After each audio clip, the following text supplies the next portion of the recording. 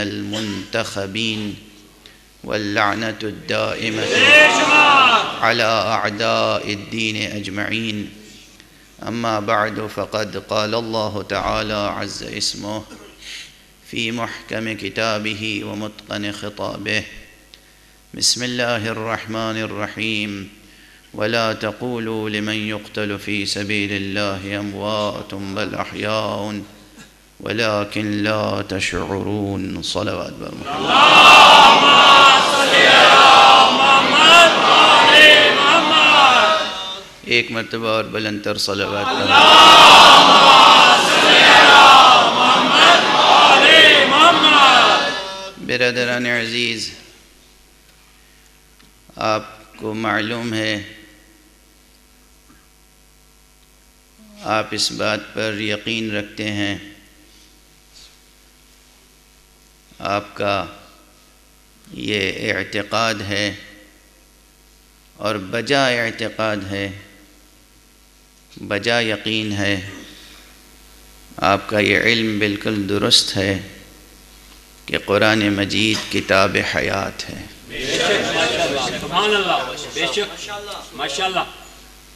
कुरान मजीद किताब ज़िंदगी है।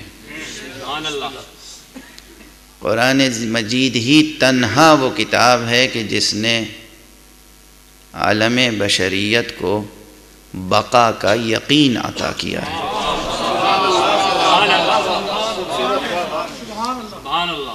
कुरान मजीद वो तन्हा किताब है जिसने इंसान को ये हकीकत अच्छी तरह समझाई। कि इंसान फना के लिए नहीं पैदा हुआ है, बका के लिए।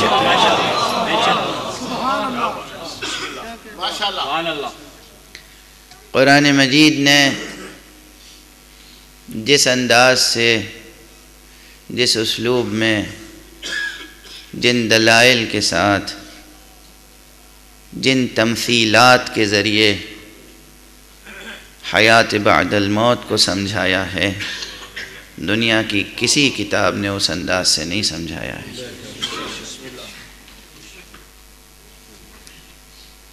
हयात जावेदा हमेशा हमेशा बाकी रहने वाली ज़िंदगी।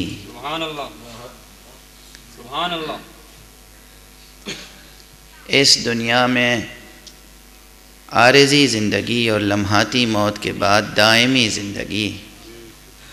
ये तसव्वुर पूरे दलाइल के साथ सिर्फ़ और सिर्फ़ कुरान ने पेश किया है।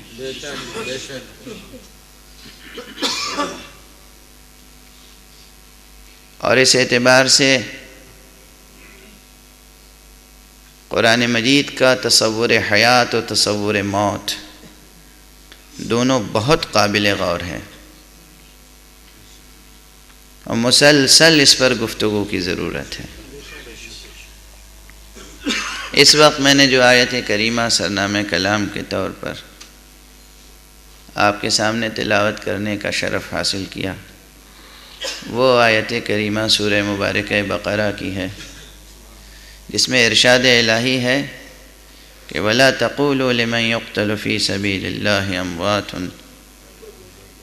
बल अहयाउन वलाकिन ला तशऊरून देखो जो लोग अल्लाह की राह में कत्ल हो जाते हैं उन्हें तुम मुर्दा न कहो।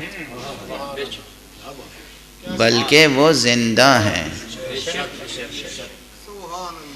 लेकिन तुम शूर नहीं रखते।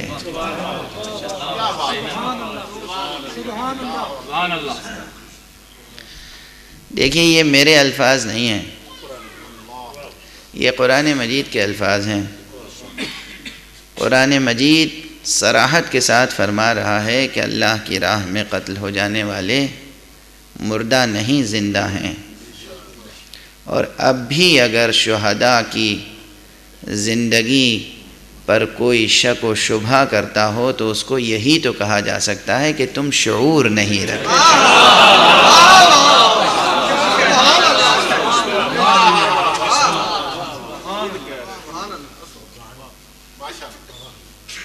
कुरान मजीद कह रहा है कि जो लोग शहदाय राह खुदा को ज़िंदा नहीं समझते, वो शूर नहीं रखते। वरना वो ज़िंदा हैं। जो खालिक हयात है, जो खालिक मौत है, वो कह रहा है वो ज़िंदा हैं और आज मुसलमान ये कहता है कि वो ज़िंदा नहीं है। या उनकी ज़िंदगी की तावील करता है। देखिए, इस आयत करीमा की रोशनी में फ़लसफ़ शहादत पर गौर करना ज़रूरी हो जाता है। और लफ्ज़ फ़लसफ़ा जो मैं इस्तेमाल कर रहा हूँ तो ये भी किसी की तबीयत पर गर आना गुज़रे। इसलिए कि बहुत से हजरात ऐसे हैं जो कहते हैं कि बस कुरान मजीद और अहादीस नबविया सल्लल्लाहु अलैहि वसल्लम।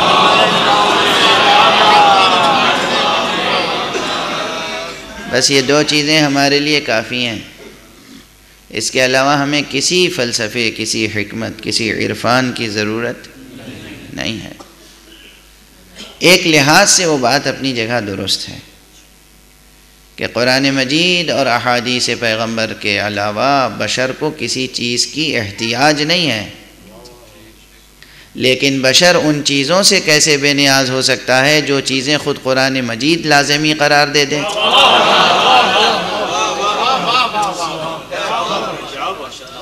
बशर उन चीज़ों से कैसे बेनियाज हो सकता है कि जिसका जिसका तकाजा ख़ुद अहादीस पैगंबर करें?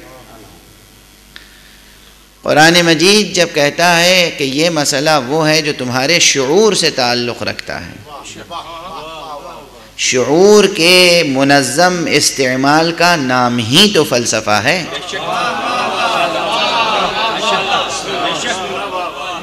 फ़लसफ़ा किसका नाम है? फ़लसफ़ा उलझी उलझी बातें करने का नाम नहीं है। फ़लसफ़ा तो उलझी हुई बातों को सुलझाने फ़लसफ़ा नाम ही है शूर इंसानी के मुनज़म इस्तेमाल का। शूर इदराक की दौलत खुदा ने दी है। और यहाँ कहा है कि जिन्हें तुम मुर्दा कहते हो, ये मुर्दा नहीं है, इन्हें मुर्दा न कहो, ये ज़िंदा हैं। मगर तुम शूर नहीं रखते। हैं दूसरे मकाम पर भी सूरह मुबारक आल इमरान में भी इस मजमून और इस मौजू को कुरान मजीद ने पेश किया है। यह है इसकी अहमियत। और वहाँ भी बात इस तरह की गई है कि वला तहसबन अल्लदीन क़ुतिलू सबीलिल्लाह। जो लोग अल्लाह की राह में कत्ल हो गए हैं, उन्हें मुर्दा न समझो। बात वहाँ भी समझ की है।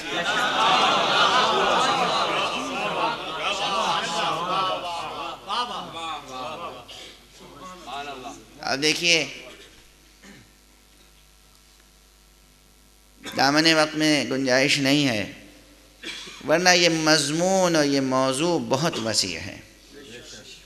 हर चंद के आपके लिए नया नहीं है। फ़लसफ़ शहादत पर न जाने कितनी तकरीरें आप नजरात ने समात फरमाई होंगी।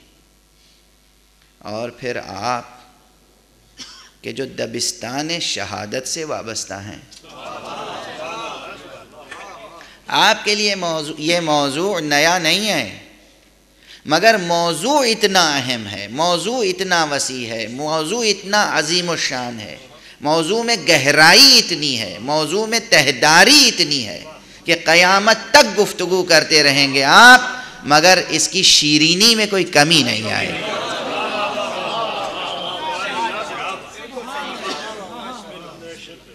यूँ भी एक अजीब लगवी हकीकत मेरे सामने आ गई।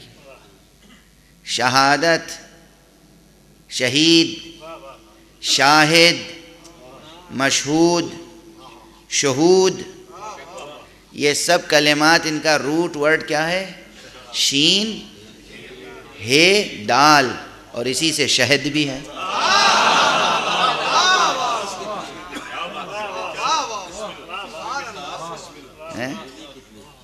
एक ही रूट वर्ड से दोनों अल्फाज हैं।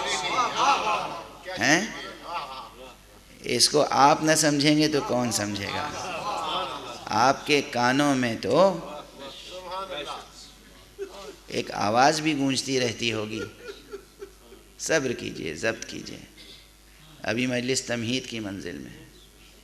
आपके कानों में तो वो आवाज़ भी गूंजती रहती होगी कि किसी ने पूछा कि बेटा हक की राह में मर जाना तुम्हें कैसा लगता है? जवाब क्या दिया? शहद से ज़्यादा शीरी दोनों अल्फाज एक ही रूट वर्ड से हैं, एक ही मादे से हैं। और अरबी में भी असल भी कलेमा इस्तेमाल होता है, शहद भी इस्तेमाल होता है। अरबी की बात कर रहा हूँ मैं, उर्दू की बात नहीं कर रहा। शहद यानी असल असल यानी शहद। और उसी शहद से, उसी रूट वर्ड से, उन्हीं हरूफ से शहादत है। तो इस मजमून और इस मौजू की शीरीनी कभी कम नहीं होगी। और न इसकी तहदारी में कमी आएगी। फिक्री हज जो हासिल होता है, रूह को जो एक हज हासिल होता है, उसमें भी कोई कमी नहीं आएगी। बेशक आपने बहुत तकरीरें समात फरमाई होंगी, लेकिन इस नुक़ नज़र से भी गौर कीजिए कि जब हम फ़लसफ़ शहादत की तरकीब इस्तेमाल करते हैं तो ख़ुद इस तरकीब की मानवीयत क्या है? हम जब किसी भी शय के साथ लफ्ज़ फ़लसफ़ा जोड़ते हैं तो उस वक्त उर्फन मुराद क्या होती है? जैसे हम नमाज़ पे गुफ्तु करें और कहें कि फ़लसफ़े नमाज़ क्या है? फ़लसफ़े सलात क्या है? या हम ये कहें कि फ़लसफ़े हज क्या है? इसी तरह हम कहें फ़लसफ़े शहादत क्या है? इन तमाम तरकीबों में फ़लसफ़े के लाने की ज़रूरत क्या है? इस कले में, इस लफ्ज़ की ज़रूरत क्या है? ये फ़िक्र इंसानी को किस जहत पे मोड़ता है ये कलेमा? तो मैं सरसरी तौर पे अर्ज़ कर रहा हूँ, तेज़ी से गुजर जाऊँगा, वरना किसी एक जहत पे भी गुफ्तु हो तो उसके लिए काफ़ी वक्त दरकार होगा। कि फ़लसफ़े शय पर जब हम गौर करते हैं, किसी भी शय के फ़लसफ़े पर तो कभी कभी सिर्फ़ उसका जवाज़ दरियाफ़ करना मकसूद होता है। मैं जैसे परवरदगार आलम, जनाब सुहेल रजवी साहब की तोफ़ीक़ात में इजाफ़ा फरमाए। कि इन्होंने अपने महब्बत कदे और दौलत कदे के साथ एक दानिश कदा भी जोड़ रखा। और ये साल में एक मजलिस मुनद करते हैं इंतहाई अहतमाम से। अब कोई शख्स आके कहे कि, मियाँ, इतनी मजलिसें होती हैं शहर लाहौर में, इस मजलिस का फ़लसफ़ा क्या है? इसके मानी है कि वो पूछना चाहता है कि इस मजलिस का जवाब क्या है? आप क्यों ये कर रहे हैं मजलिस? तो किसी भी शय का जब हम फ़लसफ़ा दरियाफ़्त करते हैं तो गोया उसका जवाब दरियाफ़्त करते हैं।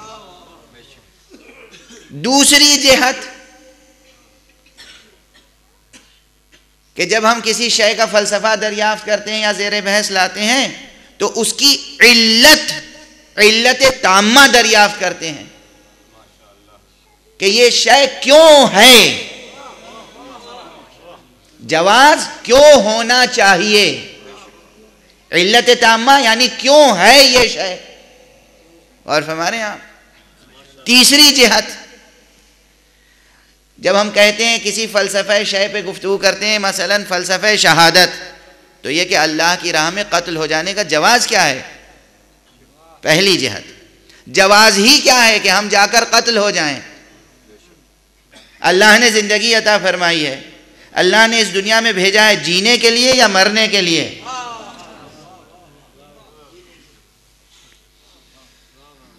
देखिए, गुफ्तगु तो कुछ देर तो जारी रहेगी, लेकिन दरमियान दरमियान में छोटे छोटे जुमलों में और भी गुफ्तगुएँ मैं आपसे करता रहता हूँ। तो एक जुमला अर्ज़ कर रहा हूँ कि एक दौर था जब दुनिया में अमन अमान ज़्यादा था, फितने कम थे। अब दुनिया में फितना परदाजियाँ ज़्यादा हैं। पूरी दुनिया की बात कर रहा हूँ। अमन अमान के लिए इंसान तरस रहा है। और इस वक्त उसूल जीने का क्या होना चाहिए? बहुत सादा सा, बहुत पुराना जुमला है उर्दू में, कहावत के तौर पर राइज हो चुका है। उसूल, पुरअमन माशरा पुरअमन माशरा कायम करने के लिए उसूल होना चाहिए कि जियो और जीने दो।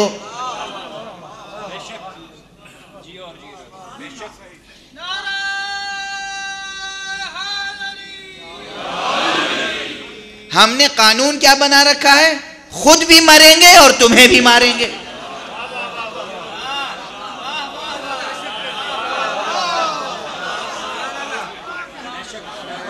भाई ये जीने के करीने नहीं हैं। ये इस्लाम ने नहीं सिखाया। ये फ़लसफ़ा शहादत नहीं है।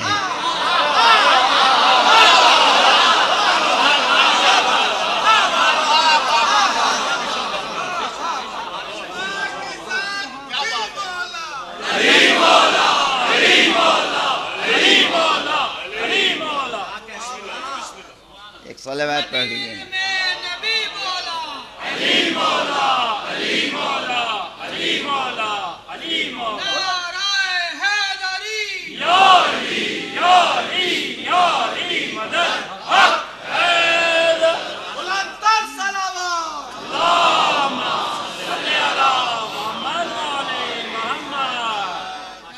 जीने का वो रास्ता, पुरमन माशर इंसानी का वो रास्ता जो कुरान ने बताया है, जो इस्लाम ने बताया है, जो पैगंबर इस्लाम और ख़तीब कुरान ने बताया है, जो इंसानी अक़ल बताती है। जो ज़मीर इंसानी बताता है, वो यही रास्ता है, जियो और जीने दो। अगर सिर्फ़ ये उसूल कार फरमा हो जाए ना, पूरी दुनिया में तो अमन कायम हो जाएगा। किसी बड़े फ़लसफ़े पे गौर करने की ज़रूरत नहीं है। यूनाइटेड नेशंस में दुनिया भर की जहानतें जमा होकर, न जाने किस किस्म की जहनीत में तब्दील हो जाती हैं।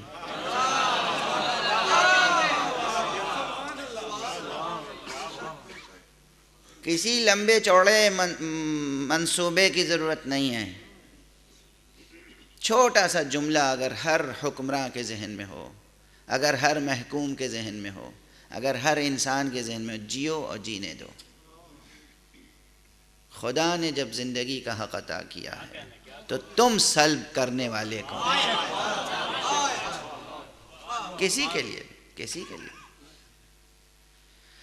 तो जवाज जान दे देने का क्या है? या जवाज जान ले लेने का क्या है? दोनों मसले हैं। कुरान मजीद में जिहाद का फ़लसफ़ा है। कुछ जिहाद के शराइत भी हैं या नहीं हैं? नबी करीम सल्लल्लाहु अलैहि वसल्लम।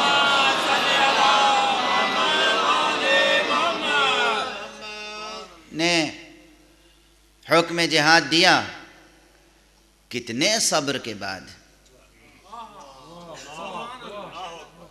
कितने तहमुल के बाद? किन हालात में इज़्न जिहाद दिया गया? किन हालात में इज़्न क़ताल दिया गया है कुरान मजीद में? कुरान मजीद की वो आयतें गौर से देखिए कि जिसमें मुशरकिन और काफिरीन के ख़िलाफ़ जिहाद की इजाज़त दी गई है। कहा गया है कि उनसे कताल जायज़ है, जो तुमसे कताल करें। और अगर कोई कताल ना करे, तवज्जो रहे, बहुत तवज्जो रहे, बहुत तवज्जो रहे। हमारे मर्द, हमारी औरतें, हमारे जवान, हमारे बच्चे ये बात सुने और याद रखें, मैं कुरान मजीद की रोशनी में अर्ज़ कर रहा हूँ और सीरत मोहम्मद मुस्तफ़ा सल्लल्लाहु अलैहि वसल्लम रोशनी में अर्ज़ कर रहा हूँ। इस्लाम वो पुरअमन दीन है, वो अमन आफरी दीन है कि जिसमें आखिरी हद तक कोशिश की गई है कि किसी जानदार की जान जाया ना की जाए।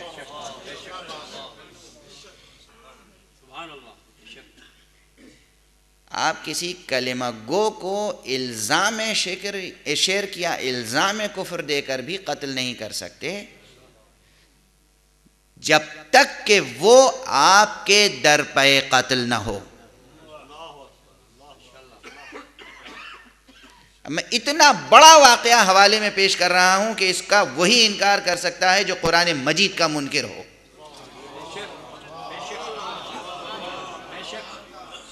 मसला शिरक का है ना? शिरक और कोफर। क्या मुझे यह हक है कि मैं किसी को अपने नुक़ नज़र से अगर मुशरक समझूं, अपने नुक़ नज़र से? मैं उससे पूछूँ, तुम कौन हो? वो कहे, मैं तो मुवाहिद हूँ। मैं तो ला मुहम्मद रसूलुल्लाह कहता हूँ। मैं तो अहले तोहीद हूँ। मगर मैं उस पर यकीन न करूँ। मैं ये कहूँ कि नहीं तुम काफिर हो। इसका जवाब है कहीं। आखिरी फैसला कुफर ईमान का करने वाली ज़ात परवरदिगार की है, ना कि हमारी आपकी आप दौरे पैगंबर में जाएँ, पूछे कि मुबाहले का वाकया क्या था?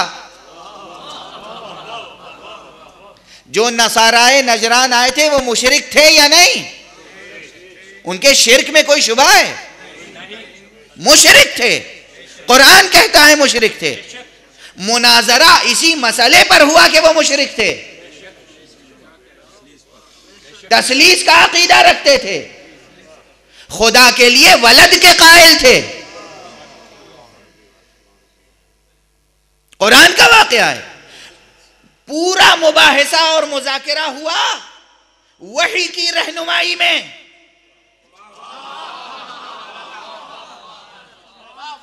वही इलाही की रहनुमाई में, यानी गोया बराह रास्त खुदा की रहनुमाई में, खुदा की निगरानी में, वो मुनाजरा गोया मुस्तफ़ा नहीं कर रहे थे।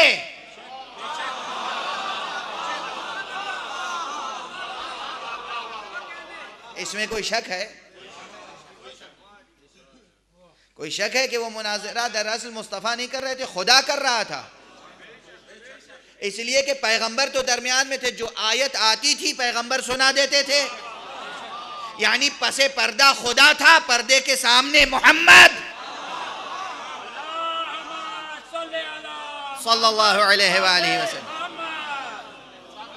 पसे पर्दे गैब, जाते हक थी। और सामने जाते मोहम्मद। जिब्राइल आते थे, अभी ने ये आयत सुनाइए। इनके सामने ये इस्तदलाल पेश कीजिए। ये कहते हैं कि ईसा अल्लाह के बेटे हैं। इन्हें ये जवाब दीजिए, ये जवाब दीजिए पूरा कुरान आपके सामने। और उसके बाद आया कि जब अल्लाह की तरफ़ से आनी, आने वाली आयतों और उसकी तरफ़ से आने वाले इल्म की रोशनी में भी ये आपकी बात तस्लीम नहीं करते तो अब इन्हें मुबाहले की दावत दे दीजिए।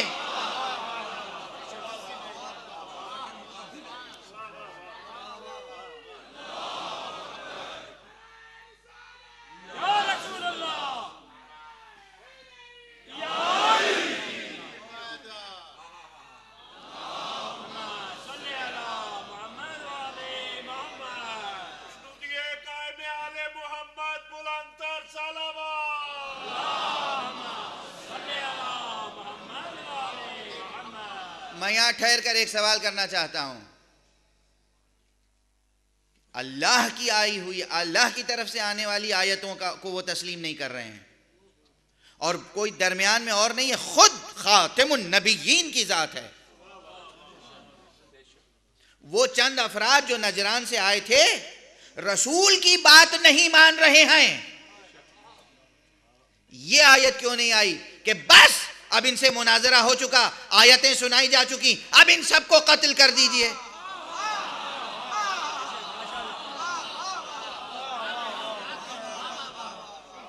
मालूम है कि मुशरिक हैं।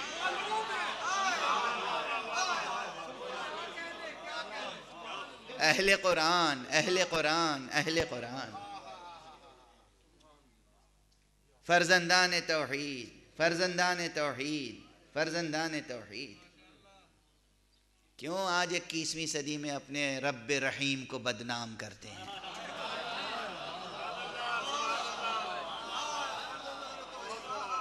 अल्लाह है, अल्लाह। अल्लाह आयतें नाजिल फरमा रहा है, पैगंबर सुना रहे हैं, और इसीलिए मैंने कहा कि ये मत समझिए, इसी कुरान मजीद में आयत है ना?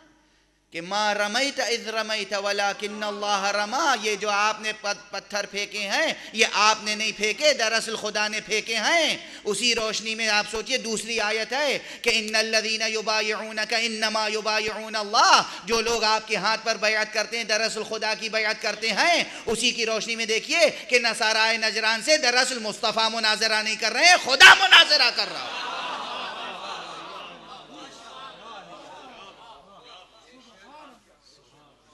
खुदा मुनाजरा कर रहा है। मुस्तफ़ा सामने। है यहाँ मुस्तफ़ा लिसानुल्लाह की हैसियत रखते हैं। बयात करोगे मुस्तफ़ा से तो मुस्तफ़ा यदुल्लाह नज़र आएँगे। गुफ्तगु करोगे मुस्तफ़ा से तो मुस्तफ़ा लिसानुल्लाह नज़र आएँगे। मुस्तफ़ा मुबाहिला कर रहे हैं। नहीं मान रहे नसारा नजरान। अगर पूरे मुनाजरे और मुबाहसे और मुजाकरे के बाद परवरदिगार हुक्म दे देता कि बस इन्हें कत्ल कर दीजिए तो कयाम कयामत तक जहन मुस्लिम में कोई इश्काल आ सकता था? नहीं। उसके बावजूद न ये आयत आई कि कत्ल कर दीजिए, न हुजूर ने कहा कि अब कत्ल कर दो इन्हें। अल्लाह ने क्या कहा? अब इन्हें मुबाहले की दावत दीजिए। और मुबाहले में भी मुबाहले में भी उन्होंने जब मुबाहला न किया तो कहा जा सकता था कि देखो मुनाजरा तुमने नहीं किया, मुनाजरे में बात नहीं मानी। और मुबाहले का पहले वादा किया, फिर गुरेज कर रहे हो। अब कत्ल के अलावा कोई चारा नहीं है। अरे उस पैगंबर आमनो इस्लाम को हमारा हज़ारों सलाम जिसने मुशरकिन के खिलाफ तलवार तो क्या? बदुआ भी इस्तेमाल न की।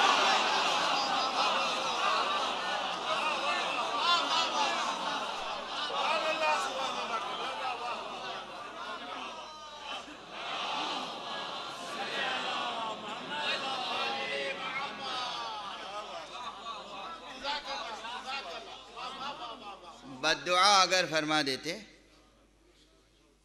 तो रूए ज़मीन पर कोई एक मशरक, कोई एक कोई एक मशरक बाकी न रहता। बदुआ भी नहीं फरमाई। यह है दीन, यह है इस्लाम, यह है कुरान और यह है ख़तीब कुरान।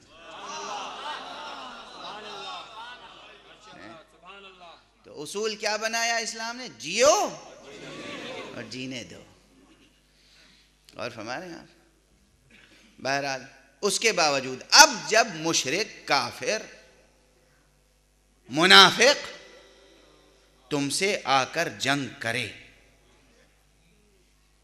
तुम्हारे दर पे आज़ार हो जाए, तुम्हारी जान खतरे में पड़ जाए, अब जिहाद करो।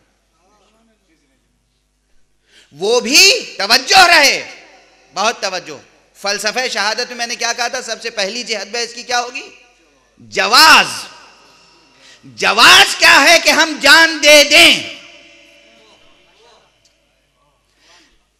खुदकुशी हराम है या नहीं हराम है? तो खुद से हम कहीं भी जान नहीं दे सकते। वहीं जान देंगे जहाँ खुदा कहे कि यहाँ जान दे दो। खुदा का इज़्न कैसे मालूम होगा?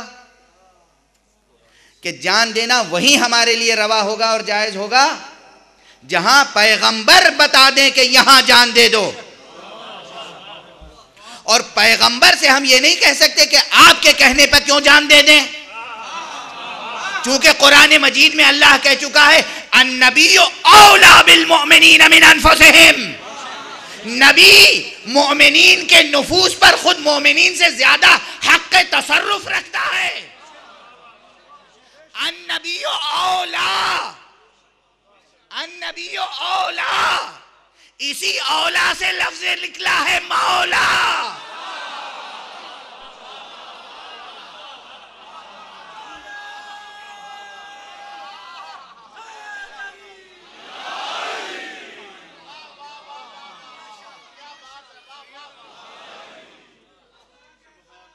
नबी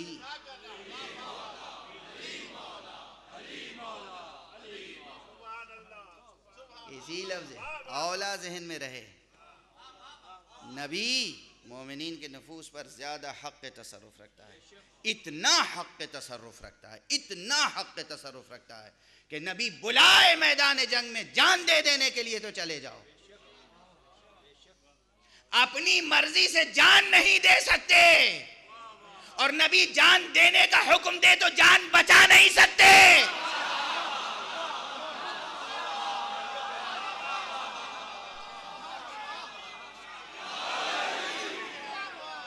दोनों को अपनी आकिबत के बारे में सोचना पड़ेगा, जो नबी के कहने पर जान न दे उसे भी। और जो नबी के कहे बगैर जान दे दे उसे भी। तवज्जो है? जो इसने नबी के बगैर जान दे दे उसकी भी आकिबत बखैर नहीं है। और जो नबी कहे कि जान दे दो, और जान बचाने की कोशिश करे तो फिर नबी के मुकाबले में कोई पहाड़ पनाह नहीं दे सकता।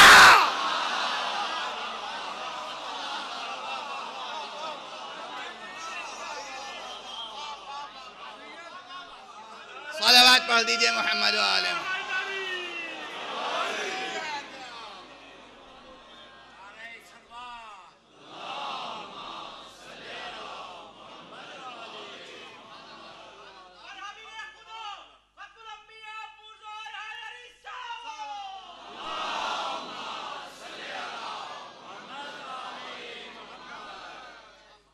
जो है, बात आ गई है ज़बान पर तो जुमला कहूँ, ये जुमला मेरी तरफ़ मंसूब न कीजिएगा।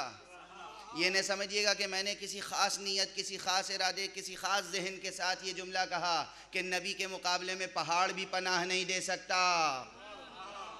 ये कुरानी वाक़ है।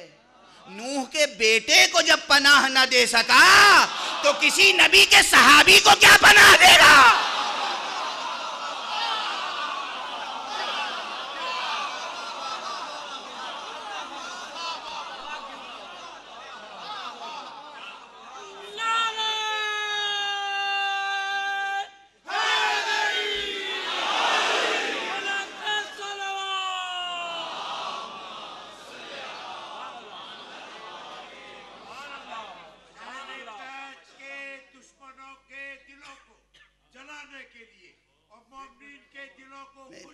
एक सलावात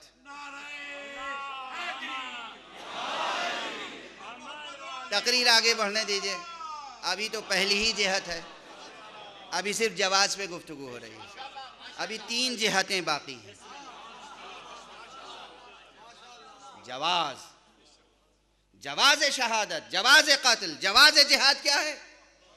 जिसने जान दी है, जब वो कहे जान दे दो, तब जान दो।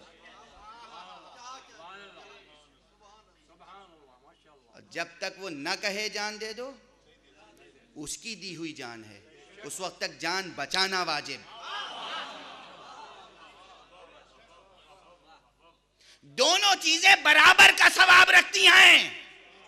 खुदा के हुक्म पर जान बचाना और खुदा के हुक्म पर जान दे देना। और दोनों के लिए दो लफ्जे मौजूद हैं फिक इस्लामी में। खुदा के कहने पर जान दे देने का नाम है जिहाद। खुदा के कहने पर जान बचाने का नाम है तकैया।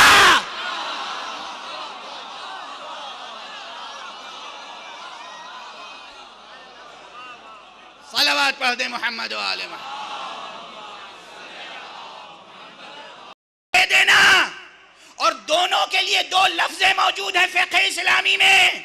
खुदा के कहने पर जान दे देने का नाम है जिहाद। खुदा के कहने पर जान बचाने का नाम है तकैया।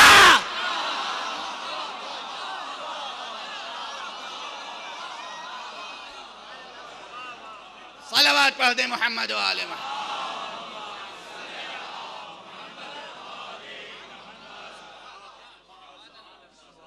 जहाँ जिहाद का मौका हो, वहाँ तकैया हराम है।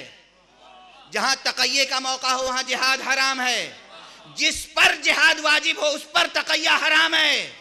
जिस पर तकैया वाजिब हो, उस पर जिहाद हराम है। और ये भी मुमकिन है कि एक वक्त में एक को कहा जाए तकैया करो, दूसरे से कहा जाए जिहाद करो। तारीख इस्लाम में ये दोनों चीज़ें यकजा नज़र आती हैं। पैगंबर से कहा जिहाद करो, अबू तालिब से कहा तकैया करो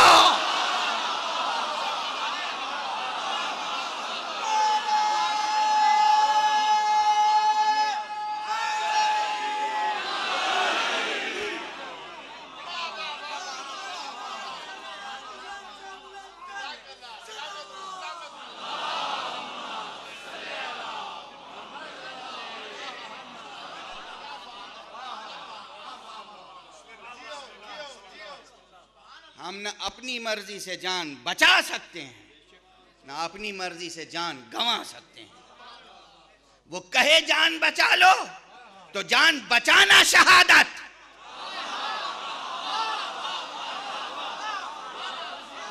वो कहे जान दे दो तो जान दे देना शहादत।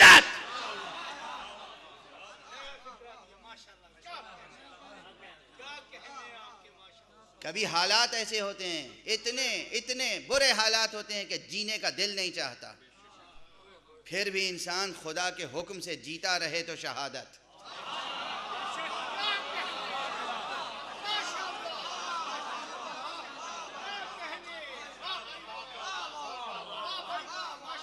इंसान की एक एक सांस शहादत बन जाती है। फलसफे शहादत को समझें, हकीकत शहादत को समझें। गुफ्तगु को आगे बढ़ाऊं। पहली जिहद फलसफा शहादत के अनवान की क्या है? जवाज शहादत। दूसरी जिहद क्या है? इल्लत तामा इल्लत शहादत। शहादत कैसे हासिल होती है? तलवार से या जहर से? अब मैं क्या अर्ज़ करूँ? कि जो लोग शहादत को सिर्फ़ मर जाना समझते हैं। वो ये समझते हैं कि शहादत तो या तलवार से मिलती है या जहर से। तीसरी कोई सूरत नहीं है। और इसीलिए मैं क्या अर्ज़ करूँ? हद अदब है। आलम इस्लाम के बहुत बड़े मुफक्र आलिम महक़ आरिफ, सूफ़ी मुहदस मुजद्दिद, हज़रत शाह अब्दुल अज़ीज़ मुहदस दहलवी ने एक किताब लिखी है, जिसका नाम है सिर शहादतैन। आज दुनिया में ऐसे लोग हो सकता है, पैदा हो रहे हों, जो ज़िक्र शहादत हसन और ज़िक्र शहादत हुसैन को पसंद न करते हों। लेकिन ये सोचें कि हज़रत शाह अब्दुल अज़ीज़ मुहदस दहलवी ने ज़िक्र शहादत को न सिर्फ़ ये कि पसंद किया, बल्कि ज़िक्र शहादत को महफूज रखने के लिए और उसके फ़लसफ़े पे गौर करने के लिए सिर शहादत नामी किताब लिखी। मगर तवज्जो रहे, उस किताब का ख़ुलासा क्या है? दो तीन जुमलों में अर्ज़ करके आगे बढ़ जाऊँगा। किताब का ख़ुलासा यह है कि रसूलुल्लाह मुहम्मद अरबी सल्लल्लाहु अलैहि वसल्लम तमाम अम्बिया से अफजल हैं। ये हज़रत शाह अब्दुल अज़ीज़ मुहदस दहलवी का बयान है कि अफजल हैं।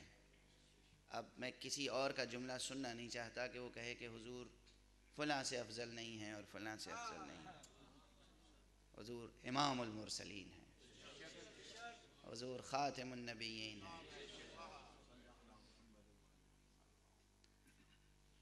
तो उन्होंने कहा, जब जब सबसे अफजल हैं तो जितनी फजीलतें तमाम नबियों में होनी चाहिए, वो सब आपकी ज़ात में भी होनी चाहिए. दूसरे नबियों को शहादतें मिली, हमारे नबी को बज़ाहिर शहादत नहीं मिली।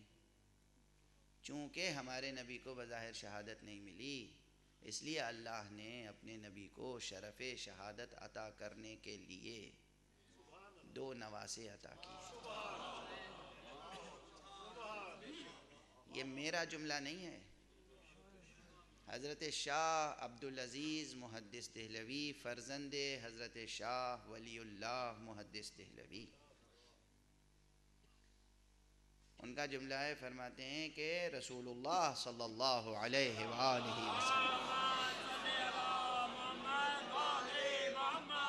को शरफ़ शहादत अता करने के लिए, फ़जीलत शहादत अता करने के लिए परवरदिगार ने दो नवासे अता किए। यानी ये दोनों नवासे मोहम्मद की ज़रूरत बन गए। मोहम्मद मुस्तफ़ा की ज़रूरत उस नुक़ नज़र से, उनके नुक़ नज़र से, उनके जाविय निगाह से। और चूँकि शहादत की दो किस्में थीं, एक वो शहादत के जो तलवार से हासिल होती है और एक वो शहादत जो जहर से हासिल होती है। खुदा ने यह चाहा कि दोनों किस्म की शहादतों का शरफ हुजूर को मिल जाए। इसलिए एक नवासे को जहर से शहादत नसीब हुई और एक को तलवार से नसीब हुई और इस तरह ये दोनों नबी ज़ादों की शहादत, ये रसूल के दोनों नवासों की शहादत दरअसल नबी की शहादत है। तवज्जो है। अब मैं अगर ये कहूँ कि अगर इनकी शहादत, नबी की शहादत है तो इनसे तलब बयात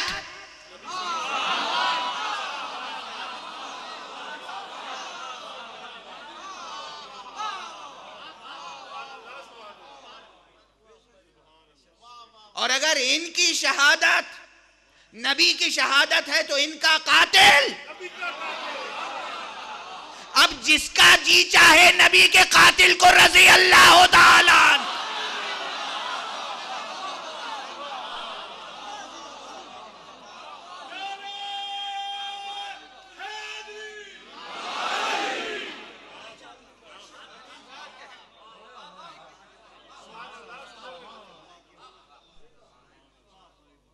खुदा की कसम, मैं अपनी आम ज़िंदगी में भी और मेंबर पर भी कोशिश करता हूँ कि मेरे लहजे में तलखी और तुरशी ना आने पाए।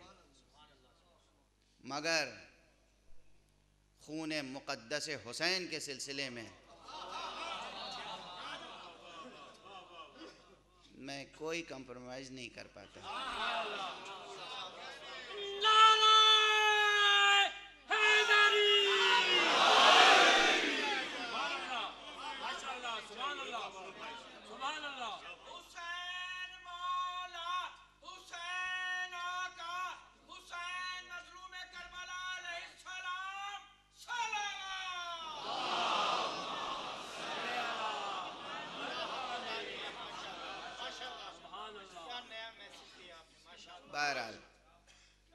ये उस नुक़ नज़र से गुफ्तु थी।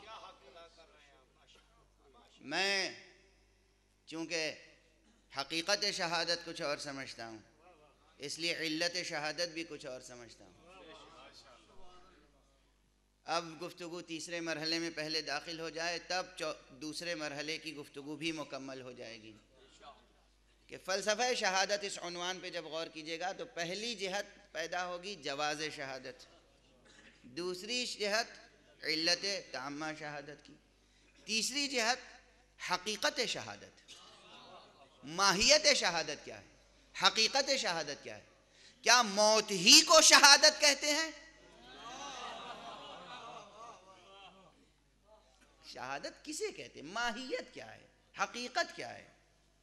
शहादत किस चीज़ का नाम है? कत्ल हो जाने का नाम शहादत है? मर जाने का नाम शहादत है। यानी गोया ऐसे ही है कि जैसे आप किसी की ज़ियाफ़त के लिए दो चीज़ें रखें, कोई चीज़ रखें और उससे एक सादा तौर पे कह देंगे, लीजिए, खा लीजिए। और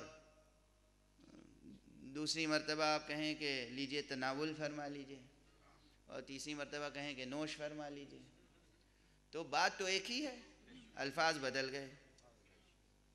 तो क्या मौत, हलाकत, फना, नाबूदी, शहादत सबके एक मानी है? हकीकत शहादत क्या है? माहियत शहादत क्या है? खुदा फरमा रहा है कि ला तकूलो लिमन युक्तल फ़ी सबीलिल्लाह अमवातुन बल अहयाउन। इंदर वलाकिन ला तशउरून जो लोग अल्लाह की राह में कत्ल हो गए, उन्हें मुर्दा न कहो, बल्कि वो ज़िंदा हैं। तुम शूर नहीं रखते। तवज्जो है, शूर नहीं रखते। शूर नहीं रखते। यहाँ पर शूर को बेदार करने की ज़्यादा ज़रूरत है कि आखिर वो कौन सी चीज़ है जिसके लिए खुदा फरमा रहा है कि तुम शूर इदराक से काम तो लो। यानी जैसे कोई चीज़ सामने मौजूद हो, दिखाई ना दे रही हो और कोई कहे, जरा गौर से देखो तो सही। तवज्जो। जैसे कोई चीज़ वजूद रखती हो और नज़र ना आ रही हो, कहा जाए, जरा गौर तो करो, देखो तो सही। सामने कोई किताब खुली हुई है, एक इबारत है, एक मजमून है, समझ में नहीं आ रहा है। और कहा जाए कि जरा ज़ोर डालो जहन पर, गौर तो करो। मानी यही पोशीदा है। मानी इसी इबारत में पोशीदा है। सतूर के सवाद को ना देखो, बैन सतूर के बयाज को पढ़ने की कोशिश करो।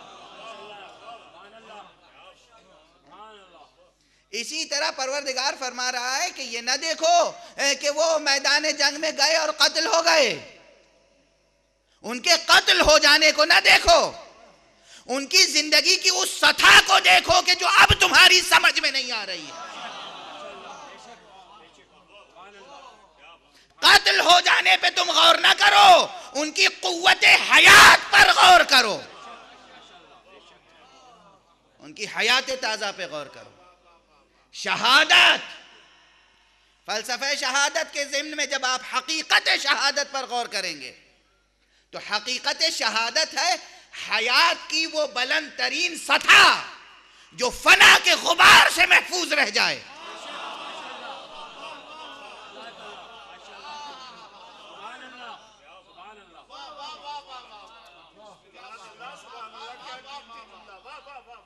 ज़िंदगी की वो बुलंद तरीन सथा जहाँ गुबार फना पहुँच ना सके। इसीलिए गालिब ने कहा है बहुत है पाए गर्दे रहे हुसैन बुलंद। बकदर फहम है गर की मियाँ कहें उसको। बहुत बुलंद है, बहुत बुलंद है। शहादत वो सतह ज़िंदगी जहाँ गुबार फना पहुँच ना सके।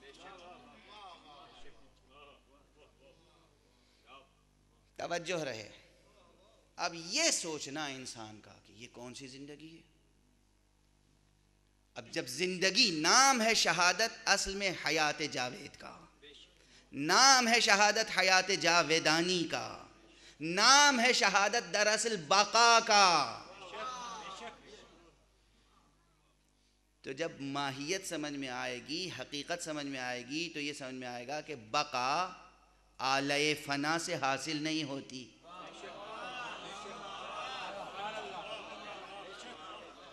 तवज्जो है। काश ये जुमला भी। बका, शमशीर क्या है? आलय फना। जहर क्या है?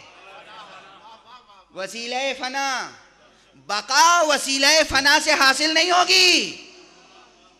सिर्फ़ कत्ल हो जाना शहादत नहीं है। खुदा की जात और खुदा की वहदानियत पर कत्ल हो जाना।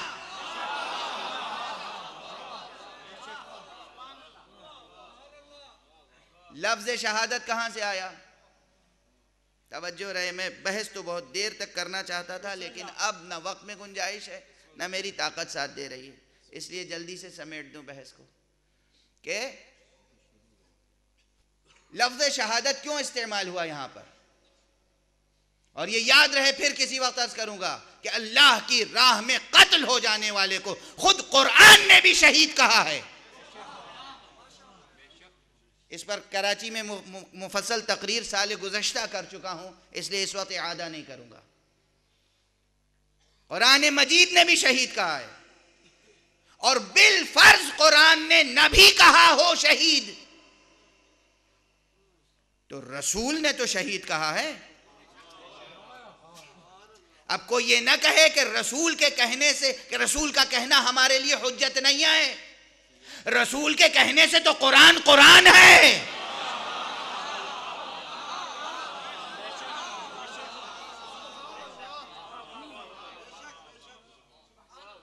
कुरान ने भी अल्लाह की राह में कत्ल हो जाने वाले को शहीद कहा।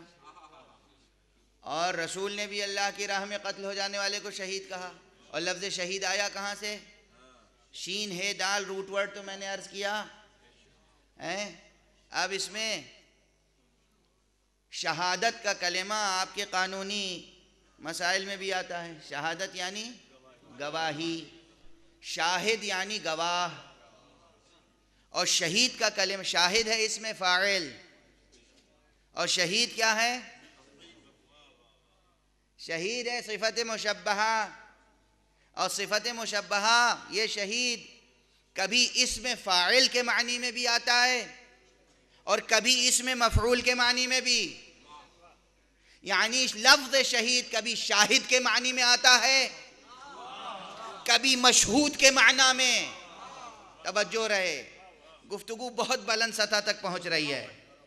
लफ्ज शहीद कभी शाहिद के माना में आता है, कभी मशहूद के माना में, और कुरान मजीद ही में दोनों मानी में आया है।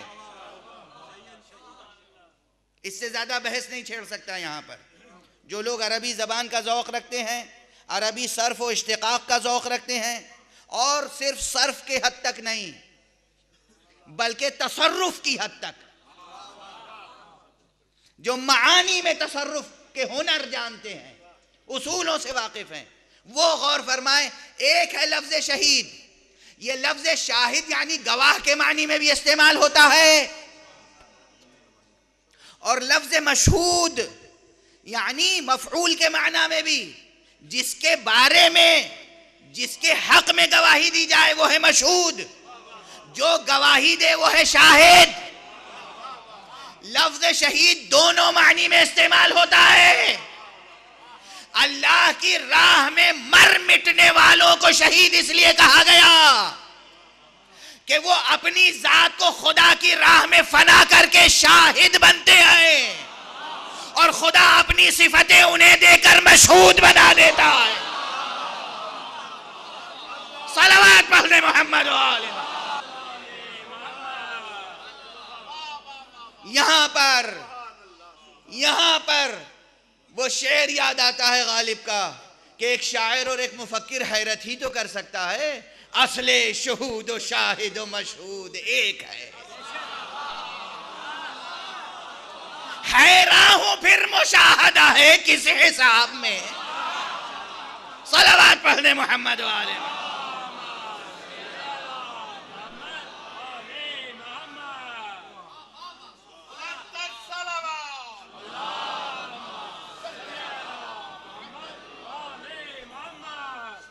अजीब मंजिल आ गई है कि अल्लाह की राह में कत्ल हो जाने वाला, यानी अल्लाह के इज़न से, अल्लाह की इजाज़त से, अल्लाह की मर्ज़ी से, अल्लाह के वजूद पर गवाह बन जाता है जान देकर।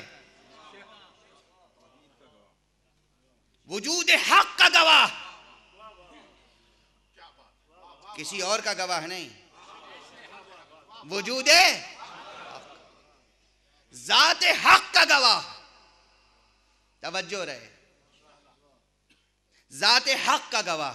दुनिया आप सबूत हक अगर मांगे तो जो गवाह है वही सबूत है ना? तवज्जो है। और इसलिए मैं, मुझे अच्छा तो नहीं लगता कि अपना शेर सुनाऊं मेंबर से। मगर आपको याद दिला दूँ कि आपके मुल्क के एक बहुत बुजुर्गवार शायर थे, हज़रत जोश मलिहाबादी। उन्होंने कहा था कि हम ऐसे अहले नज़र को सबूत हक के लिए, अगर रसूल ना आते तो सुबह काफ़ी थी। यही कहा है ना? इस शेर को मैं सोचता रहा कुछ देर, और उसके बाद एक दूसरा शेर नाजिल हो गया। आप समझें कि मैंने जोश के शेर में तसरुफ किया है। और वो शेर ये है कि न मदरसे, न मसाजिद, न फलसफा, न कलाम, सबूत हक के लिए बस हुसैन काफ़ी है।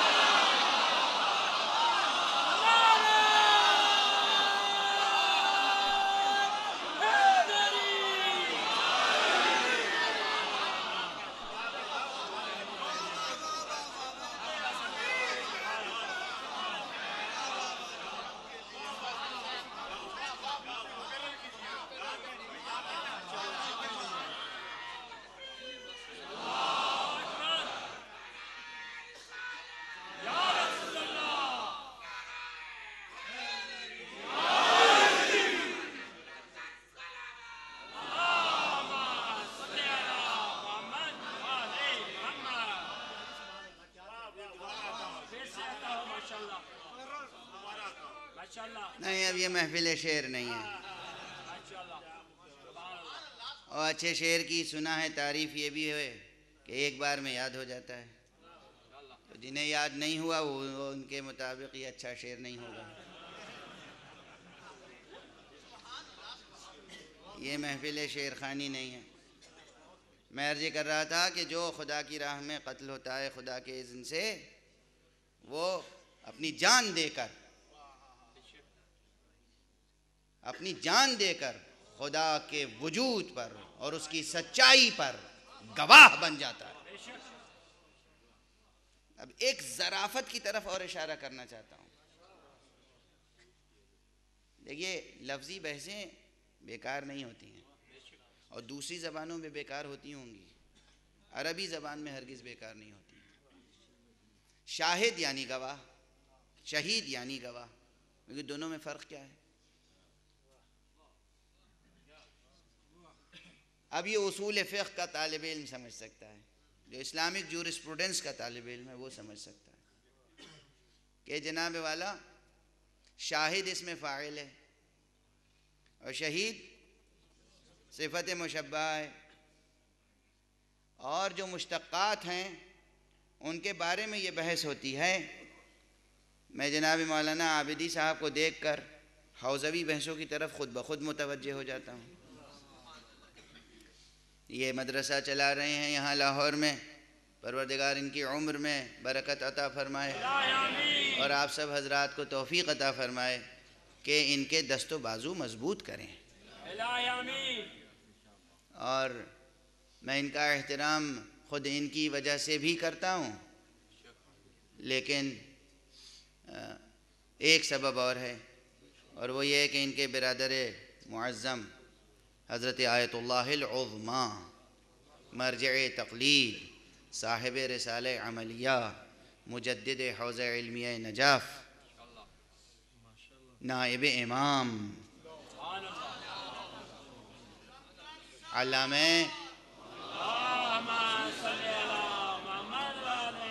शेख बशीर नजफ़ी साहब परवरदिगार उनका साया हौज़ इल्म नजफ़ के तुल्लाब पर और दुनिया के तमाम मोमिन के सरों पर कायम रखे उनकी वजह से भी मैं इनका एहतराम करता हूँ।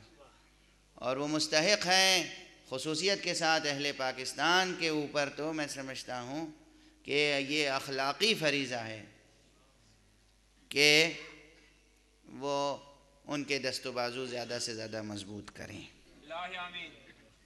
इसलिए कि वो बहुत खिदमतें अंजाम दे रहे हैं। अब मैं किसी मौके पर मौका मिला तो फिर पूरी तकरीर ही उनके खदमात के सिलसिले में कर दूँगा। ये चंद जुमले काफ़ी नहीं हैं उनकी खिदमतों के लिए बहुत खिदमत है।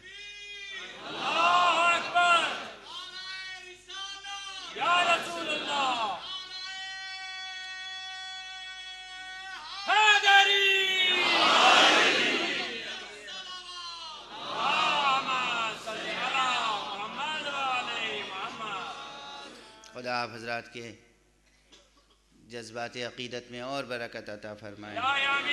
बहरहाल जब ये होते हैं और इन जैसी शख्सियतें होती हैं तो जहन जो है वो टेक्निकल बहसों की तरफ़ जाता है। कि अल्फाज का जिगर चाक करके उसमें से मानी की जौहरियत निकालना। ये हुनर सिखाता है इल्म उसूल फ़िक़्ह। हमारे सामने वो और शुरा मौजूद हैं खुदा इन्हें सरफराज रखे। ये ज़रूर मुर्दा अल्फाज में रूह फूकते हैं। मेरा पुराना जुमला है कि डिक्शनरियाँ मुर्दा लफ्ज़ों के मकबरे हैं। लोगत मकबरा है। अल्फाज बेजान पड़े में ये शायर होता है, अदीब होता है, ख़तीब होता है कि जो उसमें रूह फूंकता है। तो ये रूह फूंकते हैं। किस किस्म की रूह किस लफ्ज़ में पाई जाती है? इसकी शनाख्त फोकहा करते हैं।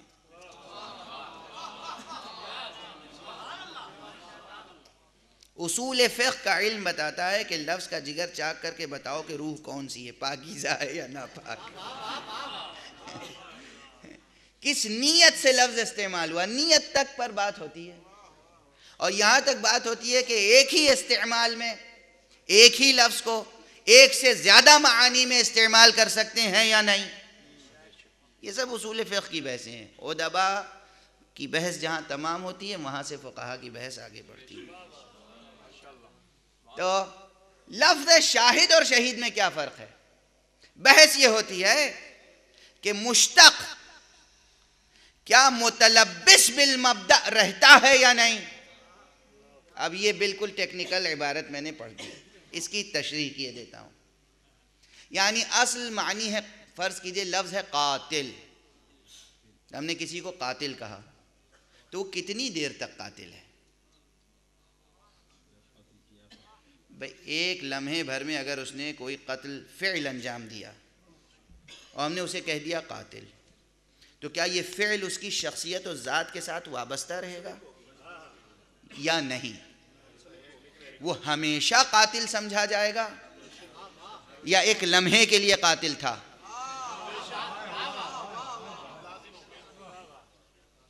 आप फैसला ना सुनाइए, फैसला कहा करेंगे। इतना आसान नहीं है फैसला। हमने कहा, शाहिद, मेरा कोई मुकदमा है? आपको मैं ले आया कि गवाही दे दीजिए। अब उस वक्त आप जज के सामने गवाह हैं। तो उतनी ही देर के लिए गवाह हैं ना, जितनी देर आपने गवाही दी। या ज़िंदगी भर के लिए गवाह हैं? शाहिद, गवाह, गवाही दे दी, ख़त्म। मुमकिन है कि लोअर कोर्ट में आपने गवाही दे दी? हाई कोर्ट में जाते जाते हमारे मुखालिफ फरीक का ज़ोर ज़्यादा पड़ गया। आपने वहाँ गवाही देने से इनकार कर दिया।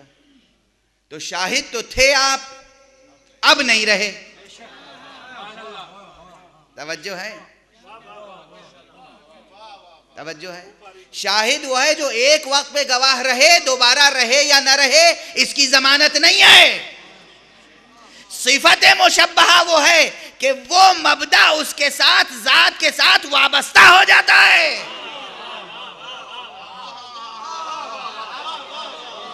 शहीद वो है कि गवाही जुज्वे जात बन गई। शाहिद कभी गवाह होगा, कभी नहीं होगा। जो शहीद हो गया, वो कयामत तक के लिए गवाह है।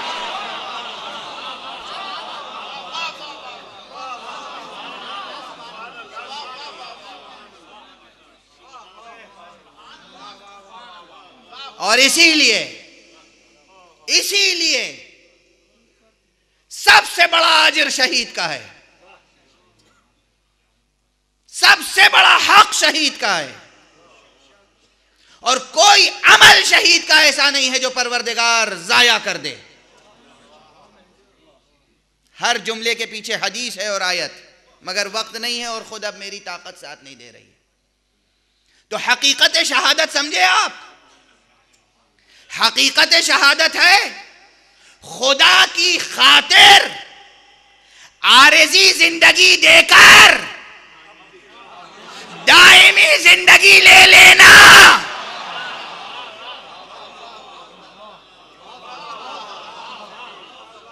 न के कत्ल हो जाना, न के जहर खा लेना।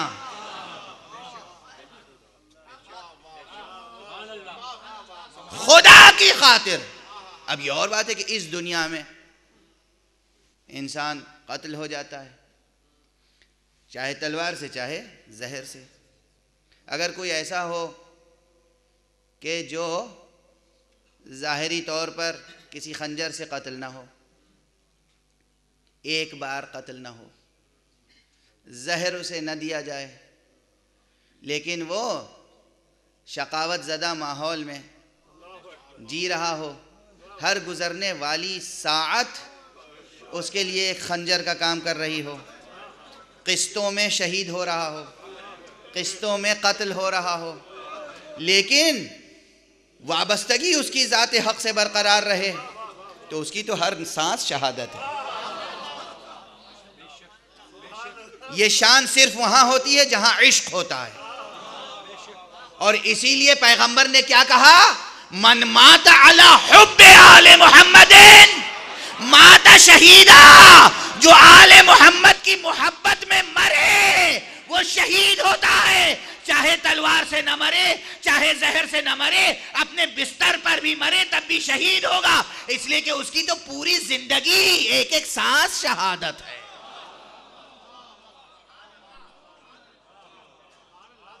तवज्जो है? तवज्जो है। तो लफ्ज फलसफा शहादत, इस तरकीब फलसफा शहादत की कितनी जिहतें बन गई? जवाज शहादत पर सोचिए। इल्लत शहादत पर सोचिए, हकीकत शहादत पर सोचिए, और उसके बाद मानवीयत शहादत। चौथी जिहत है मानवीयत। खुद मानवीयत की कई जिहतें हैं, मगर इस वक्त मैं लफ्ज मानवीयत की सिर्फ़ एक जिहत पे गुफ्तु करूँगा, क्योंकि आजकल उर्दू के अदबी मुहावरों में और तनकीदी असलाहों में कभी कभी मानवीयत को सिर्फ़ रेलेवेंस के माना में इस्तेमाल करते हैं कि किसी चीज़ की आज मानवीयत क्या है। मसलन, एक नक़ाद का मजमून छपा, मरसिए की मानवीयत। यानी गोया आनीस दबीर के ज़माने में तो मरसिया मानवीयत रखता था, आज इस अहद में अब मरसिया की मानवीयत नहीं रह गई, उनके नुक़ नज़र से। मसलन ये कि वो अहद चला गया वो फार्म, वो मुसदस की फार्म, वो तवील नज़म और वो मौजू और वो मजमून, अब उसकी ज़रूरत नए अहद में हमें नहीं रह गई। अब कोई मरसिया नहीं कहता। और इसलिए गोया इस अहद में इसकी मानवीयत बाकी नहीं रही। मानवीयत बाकी नहीं रही, यानी रिलेवेंस बाकी नहीं रहा। तो अगर रिलेवेंस के माना में मानवीयत को आप लें तो फ़लसफ़ शहादत के मानी होंगे कि आज इक्कीसवीं सदी में फ़लसफ़ शहादत क्या है? तवज्जो है? आज शहादत की मानवीयत बाकी है या नहीं? आज शहादत किस तरह हासिल हो सकती है? जबकि पैगंबर वजूद नहीं रखते जाहिरी तौर पर तो हमें इज्न कौन देगा? हमें हुक्म कौन देगा?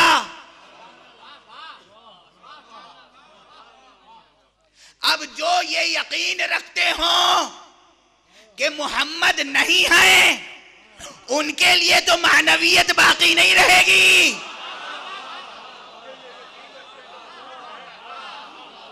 जो यकीन रखते हो कि आज भी मोहम्मद रसूलुल्लाह रसूलुल्लाह है, आज भी खातिमुन्नबीयीन खातिमुन्नबीयीन है, और वो खातिमुन्नबीयीन तो है ही उनकी नबूवत का सिलसिला जारी है, उनकी रसालत का सिलसिला जारी है। साथ साथ एक जान मोहम्मद भी है जो मौजूद है।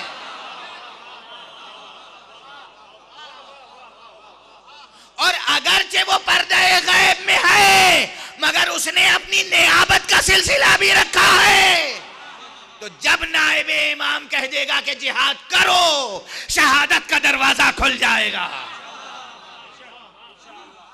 जब तक नायब इमाम हुक्म ना दे, जिहाद नहीं हो सकता। अपनी मर्ज़ी से नहीं हो सकता। और फरमाया आपने। बस, गुफ्तगु इससे ज़्यादा नहीं। अपनी मर्ज़ी से ना हम जान दे सकते हैं, ना अपनी मर्ज़ी से जान बचा सकते हैं।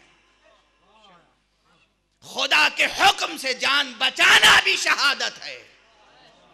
खुदा के हुक्म से जान दे देना भी शहादत है। इसीलिए इसीलिए करबला में दोनों तरह के शहीद नज़र आते हैं।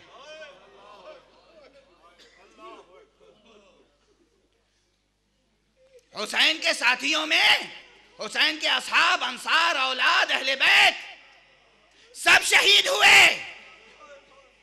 और मैं कहता हूँ, सबसे बड़ी शहादत तो सैयद सज्जाद की थी।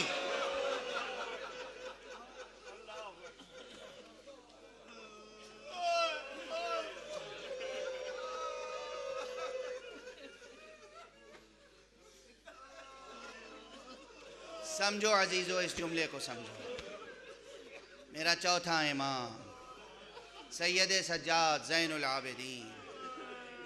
ज़िंदगी भर ये कसक रह गई दिल में, ये खलिश रह गई। हाय, मैं करबला में शहीद ना हुआ। सैयद सज्जाद ने खुद से जान नहीं बचाई। ज़्यादा बयान का मौका नहीं रह गया। सैयद सज्जाद ने खुद से जान नहीं बचाई। खुदा ने एहतमाम वो किया। मरज लाक हो गया, बीमार पड़ गए। इसीलिए हम बीमार करबला कहते हैं। ताकि जिहाद साकित हो जाए। और फिर हुक्म इमाम। जितने गए करबला में, तवज्जो रखिएगा। फलसफा शहादत पे गुफ्तु हो रही है ना? सब आए थे जान देने के लिए। फिर भी जान देने से पहले हर एक आके इज्न लेता था। अज़ीज़ हो या सहाबी? अकबर हो या कासिम? आका, अब हमें इजाज़त दे दीजिए। एक भी ऐसा नहीं मिलता जो हुसैन की इजाज़त के बगैर चला गया उस आश्र में। अल्लाह। इताअत देखो, बंदगी देखो, वाबस्तगी देखो। हुक्म हुक्म और इज़्न, इसकी अहमियत। एक शहीद नहीं गया करबला में बगैर इज़्न मौला। इज़्न अमूमी के बावजूद इज़्न खसूसी लेते थे। और सैयद सज्जाद को इज़्न नहीं दिया। अगर आप बर्दाश्त कर सकें तो मैं एक रिवायत अर्ज़ करूँ। सैयद सज्जाद सैयद सज्जाद। नौ मुहर्रम तक सैयद सज्जाद से हतमंद थे।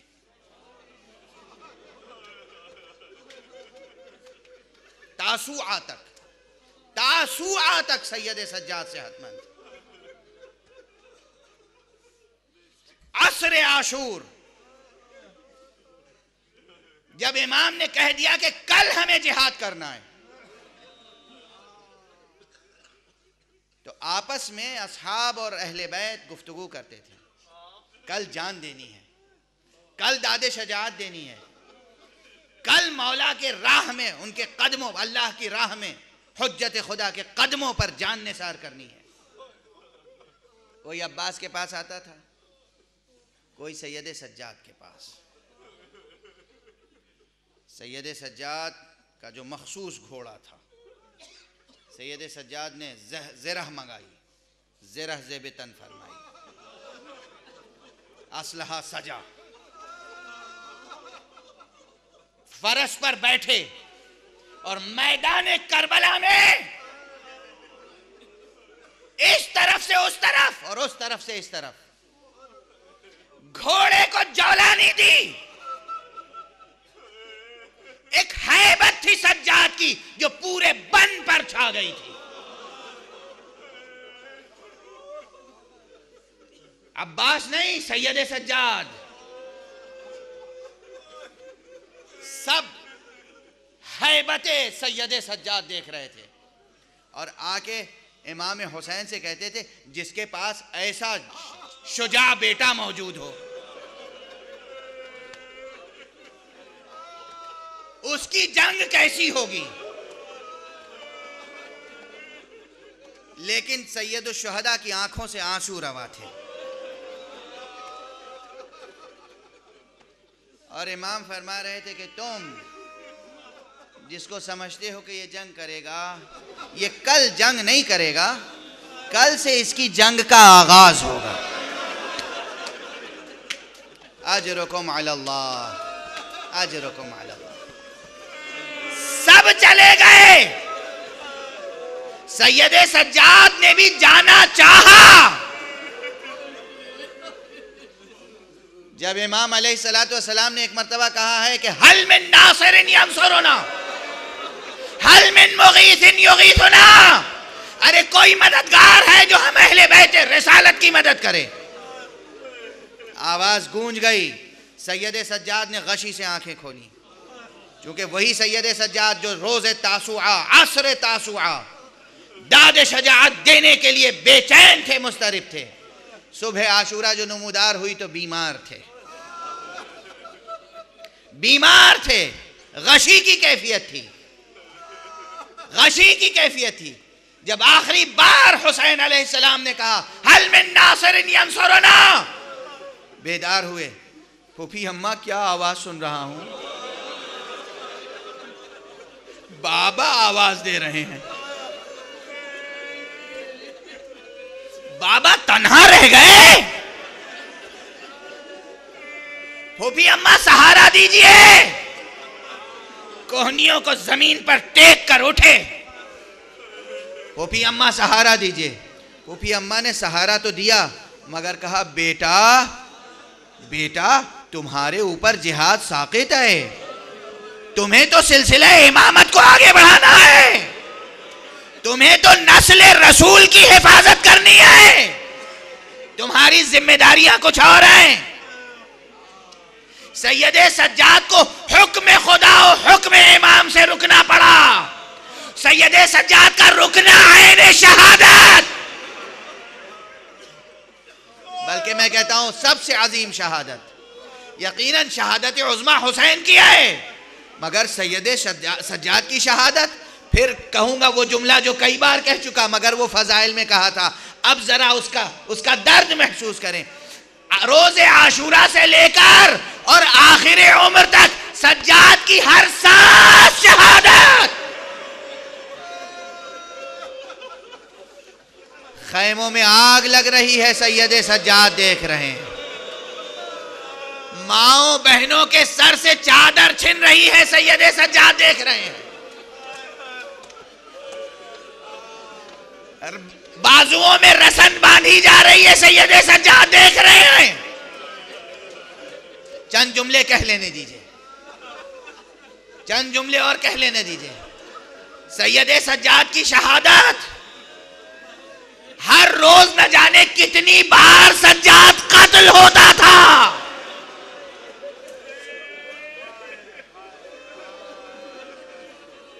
और एक एक मंजर सैयद सज्जाद की निगाहों में महफूज रहा। एक एक मंजर। और ये हसरत पूरी ज़िंदगी बाकी रही कि काश मैं भी बाबा के साथ कत्ल हो जाता। आज हम जियारत पढ़ते हैं ना? जियारत पढ़ते हैं। खुदा आप सबको तोफ़ी ज़्यारत अता फ़रमाए।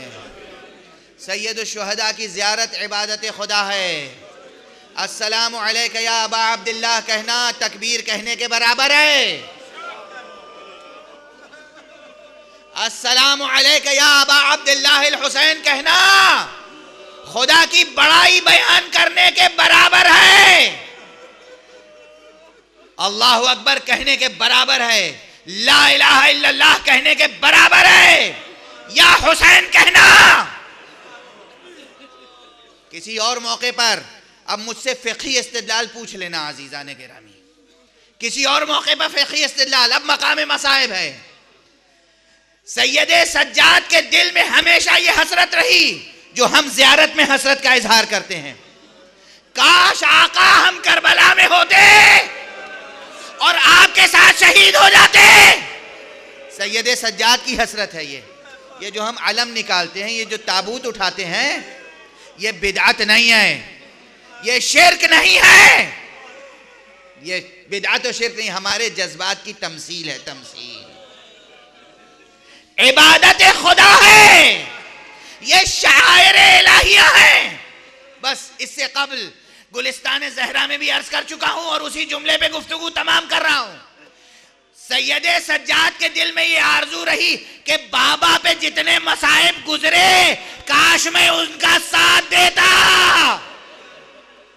हालाँकि सैयद सज्जाद ने, सैयद सज्जाद ने उससे ज़्यादा मसाइब बर्दाश्त किए। गला कटा देना अल्लाह की राह में आसान है, वो भी हुसैन जैसे के लिए। मगर माओ और बहनों का बेरेदा बाजारों से फिराया जाए।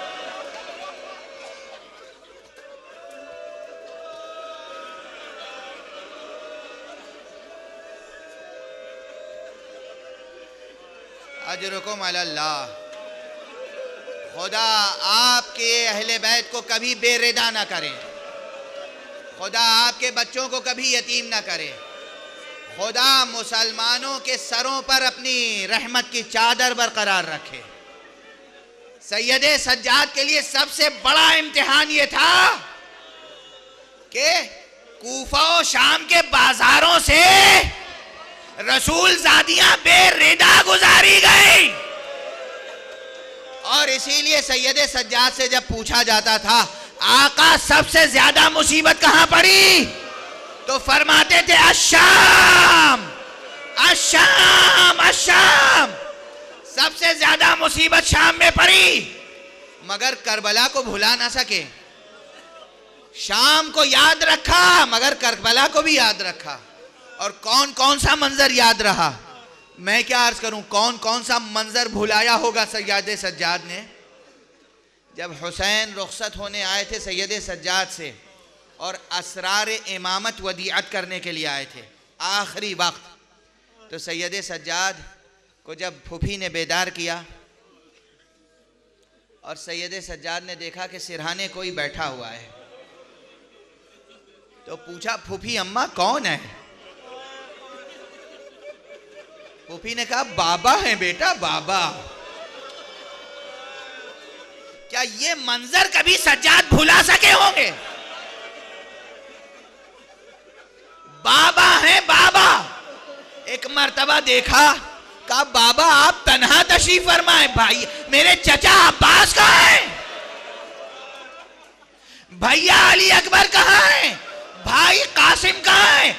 इमाम हुसैन पहले तो कहते रहे कत कोतेल कत कोतेल कत कोतेल कत्ल कर दिए गए, कत्ल कर दिए गए। एक मरतबा का बेटा सज्जाद, अब तुम्हारे और मेरे अलावा कोई बाकी न रहा। ये गुफ्तगु भी सज्जाद कभी भुला ना सके होंगे।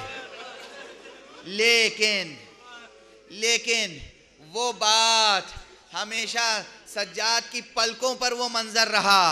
और आँखें आँसू बरसाती रहीं कि जब करबला से असीर होके जा रहे थे, हाथों में हथकड़ियाँ थी पाओ में बेड़ियाँ, कमर में लंगर, गले में खारदार तो और लोहे की जंजीरों से जकड़ दिया गया था, और हाथों में मेहारे नाका तो उधर से गुजारा गया था, जहाँ हुसैन का पामाल शुदा लाशा, बेगोरो कफन पड़ा हुआ था। उस वक्त सज्जाद की तबीयत इतनी मुतगैर हो गई थी कि जैनब को कहना पड़ा था, बेटा, अपने को संभालो। संभालो बेटा, ऐसा लगता है कि रूह जिस्म से मुफारकत कर जाएगी। और सज्जाद ने कहा था, फूफी अम्मा, आप ही इंसाफ फरमाइए, बेटा ज़िंदा हो और बाप का लाशा बेगोरो कफन रह जाए ये मंजर सज्जाद को याद रहा। नतीजा क्या हुआ?